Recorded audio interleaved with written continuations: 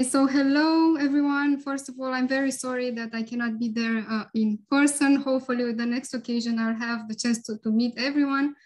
Um, thank you first of all to, to Anna, and Jaap and Hans for, for inviting me. It's a privilege for me to be able to present here today.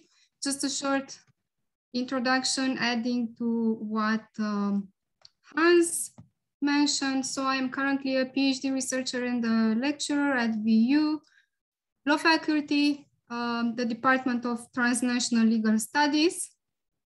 Also part of the Transnational Legal Studies, we are working on launching a, a new research center, specifically Amsterdam Law and Technology Institute, and I'll be talking about this um, soon.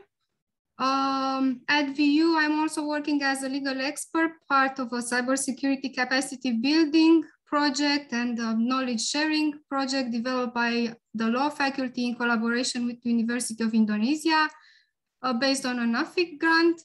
Uh, here I'm also working with uh, Anna uh, Bon, who is the project manager of the project. In addition to the activities at VU, I am also involved in various legal advisory projects or mentoring projects, space and AI related, just some examples. Here I'm an elected legal expert, part of an international global expert group dealing with sustainable lunar activities. I'm also a mentor, part of the United Nations Space for Women Network, um, a recently launched network with the purpose of empowering women to study space law and related space disciplines. Also a mentor of, of part of Space Generation Advisory Council, again, uh, similar with the work at the United Nations. And uh, a must-be member of the International Institute of Space Law and of the European Center for Space Law, part of the European Space Agency, where I give uh, lectures and presentations yeah, a couple of times per year. Before this, I was a business lawyer. I was based in Bucharest and Austria, part of international law firms such as Lenovo and Wolf. Um, a couple of mandates as a legal counsel before deciding to open my uh, boutique uh, law firm. All these um, yeah, were possible due to my knowledge gathered at Vienna University of Economics and Business, where I was enrolled in an executive MBA.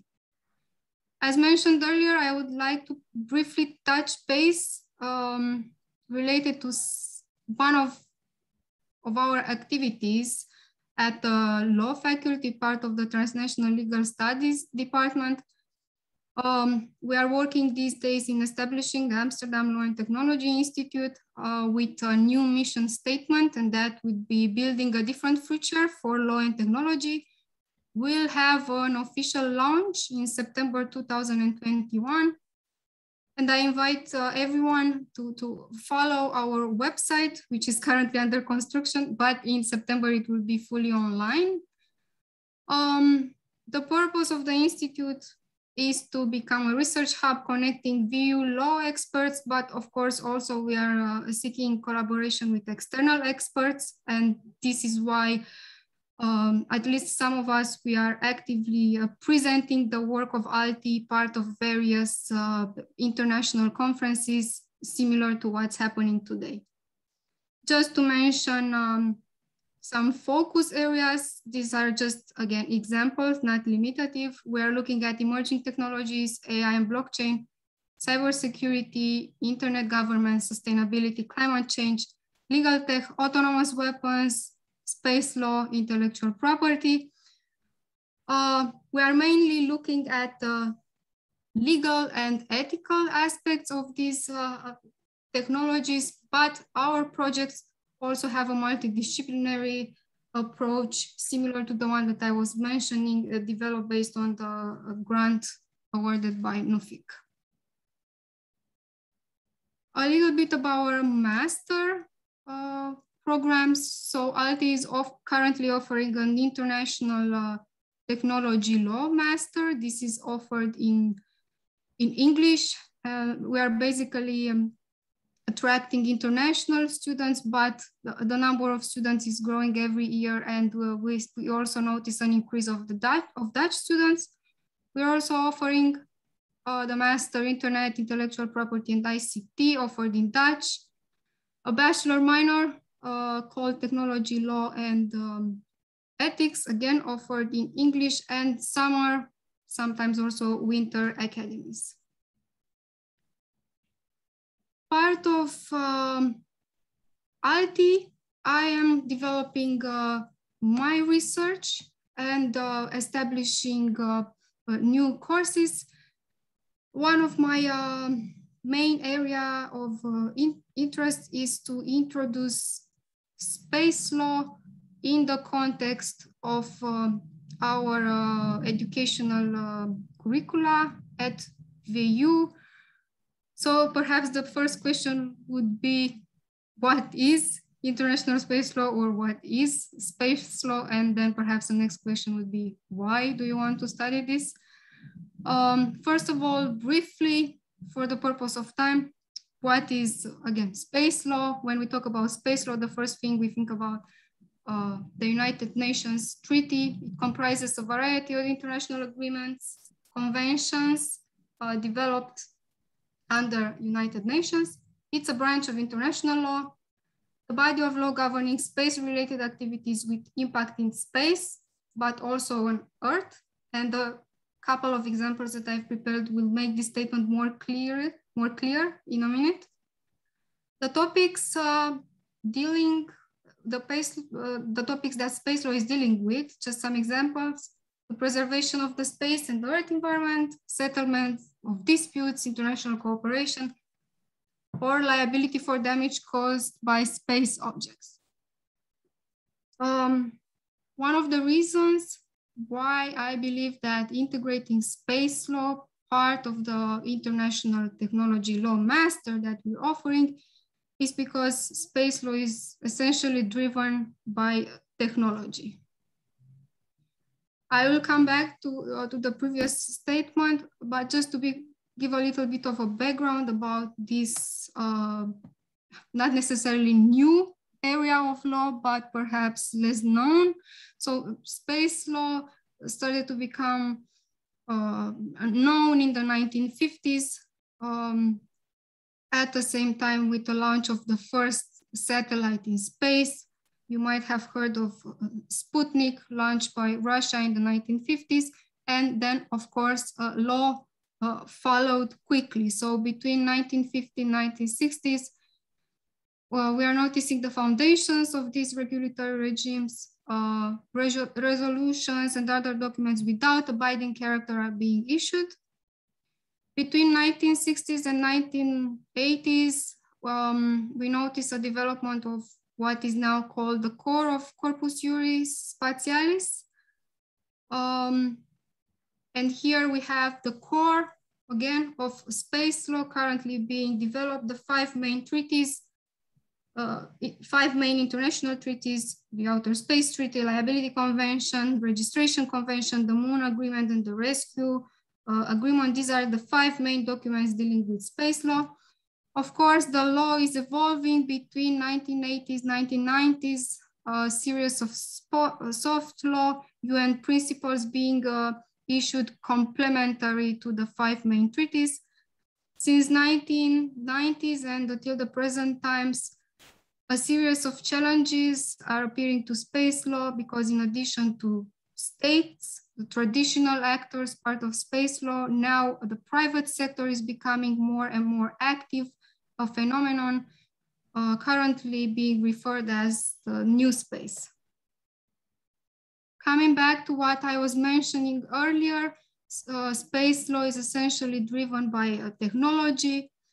But when we talk about space technology, we need to uh, take in consideration two main aspects. So space technology is used, of course, for space exploration and uh, outer space related activities, but also for improving, um, for supporting uh, life on Earth. And the reason why we are here today in the context of, uh, of this conference for supporting our digital societies on Earth.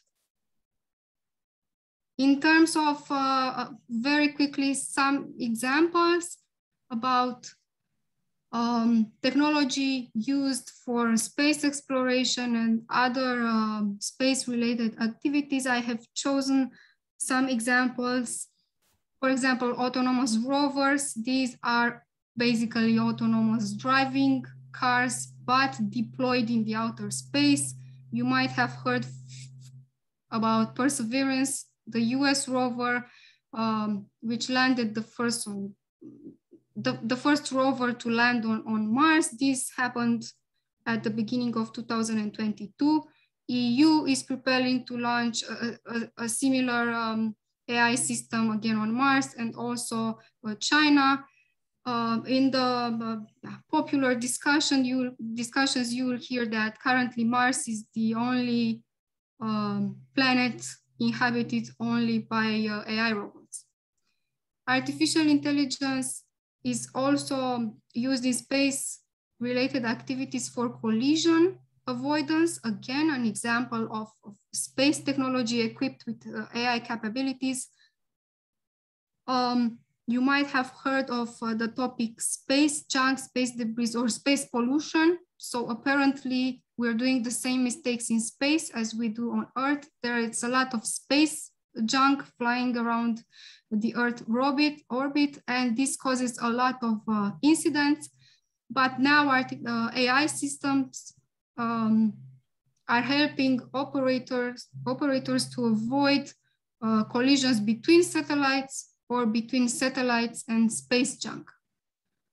Um, AI is used in space-related activities also as crew assistance CIMON is an example of an AI personal assistant, the first one deployed on the International Space Station in 2018 and uh, developed by IBM. AI is also helping uh, monitoring uh, uh, spacecraft and communicating uh, on Earth rapidly any potential uh, problems that might be encountered by spacecraft. Coming back to the reason uh, why we are here today and how space technology is supporting life and digital uh, life on Earth, two important examples, uh, navigation, air, road, maritime. Uh, all of you are using, for example, uh, Google Maps or the so-called uh, GPS on your mobiles. These, all these services are offered by space technology, satellites. Um, GPS is more popular because it was the first uh, US navigation uh, system deployed, but we also have similar systems deployed by uh, China, India, Japan, and of course, uh, the European Union. Another very relevant example about how space technology is supporting um, life on Earth is related to disaster management Satellites are helping monitoring climate change, tsunamis, or earthquakes. I have chosen a, a, brief example, an initiative, the Climate Change Initiative currently developed by the European Space Agency. Um, with the help of AI, detection rates in Earth observation are improved. Another example, part of this project, the random forests algorithm. So this algorithm uses a training data set to learn to detect different land cover types of areas burned by wildfires.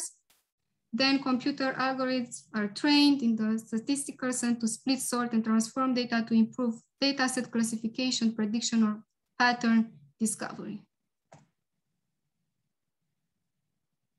As I was mentioning before, space technology supporting uh, digital life.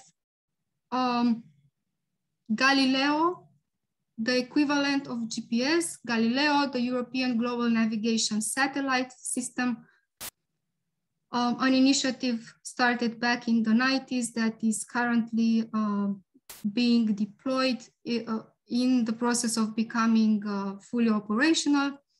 Um, Galileo is considered a key element in autonomous uh, driving. We have the first um, Galileo-enabled autonomous vehicle was presented um, by uh, several European researchers in uh, 2019.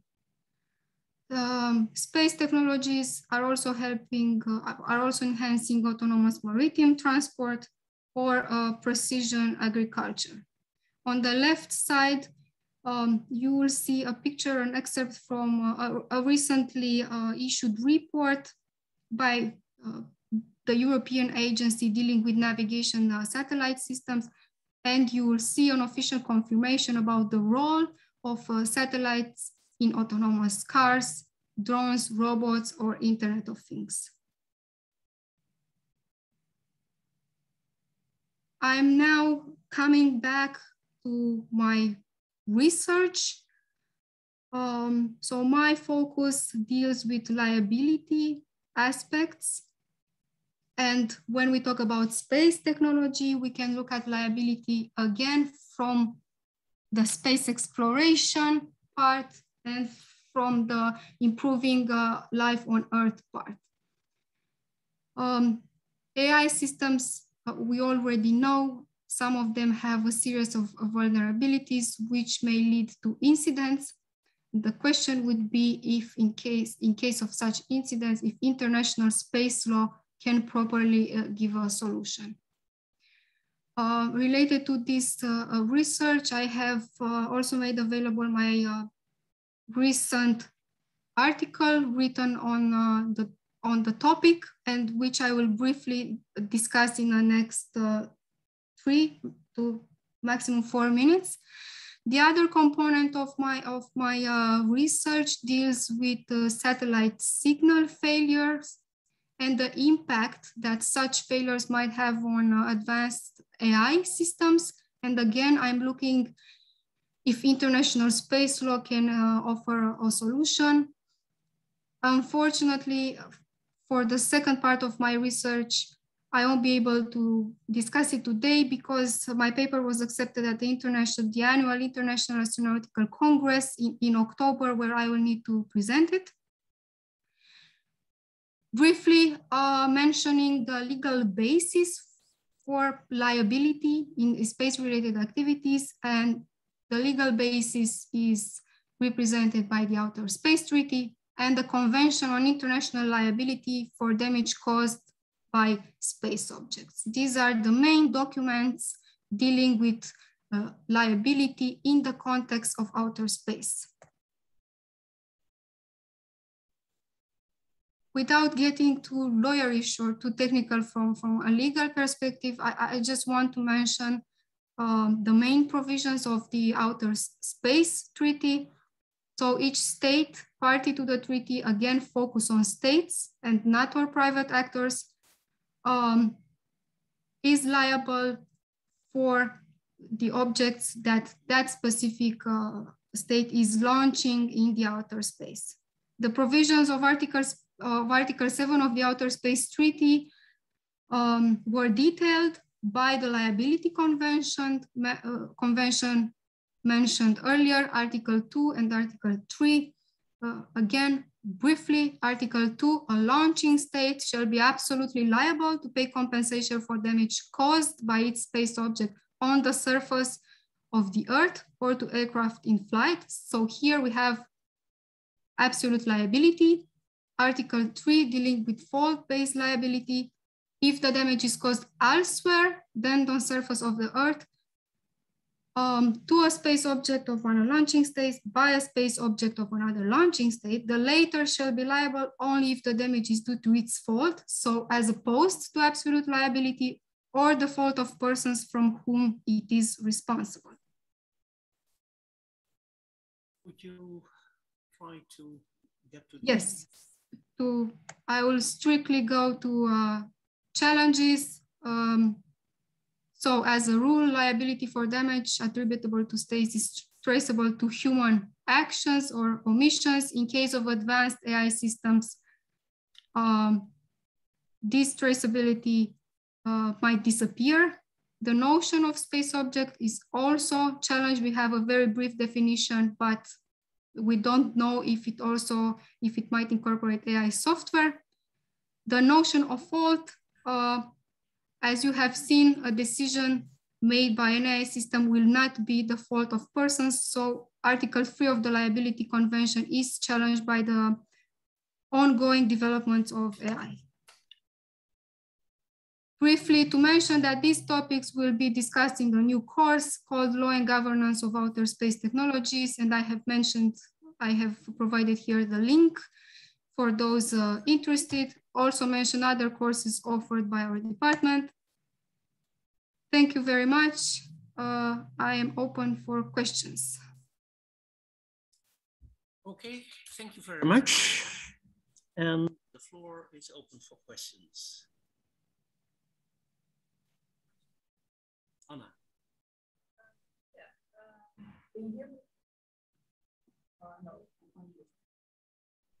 Okay.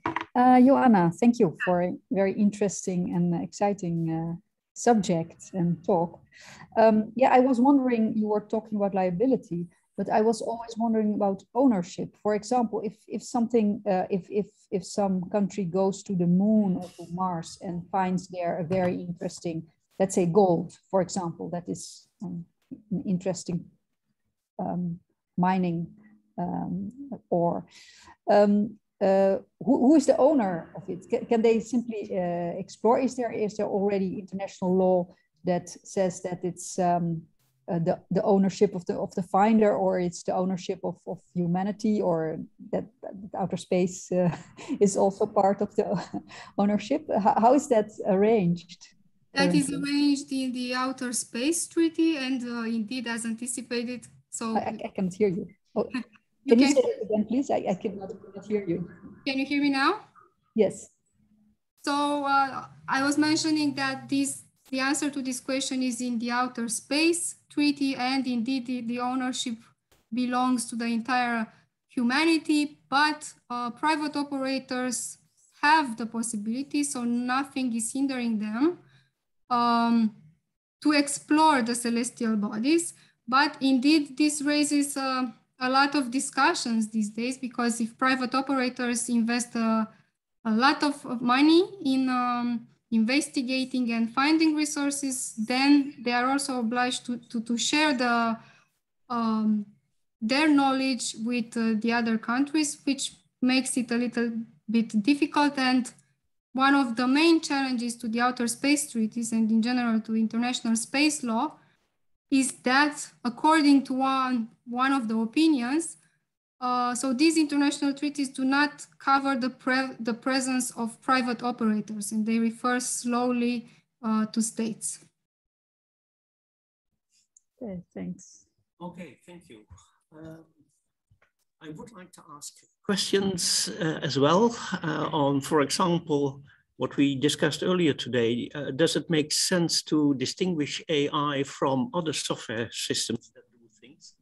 But uh, I leave that uh, question for now, and I would like